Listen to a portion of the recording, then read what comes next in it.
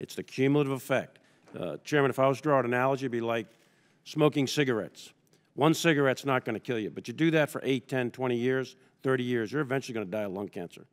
Uh, it's the cumulative effect over time that is really devastating and the seesaw effect of money in and money out. And also, we can't invest in modernization because industry has to have predictable funding, and we can't do that. It's a very, it, not only is it uh, negative on immediate readiness, it's devastating on future modernization because we can't get out in front of it, and it's much more expensive when you can't do multi-year contracts. It's very expensive. It's inefficient, ineffective uh, way of doing the budget.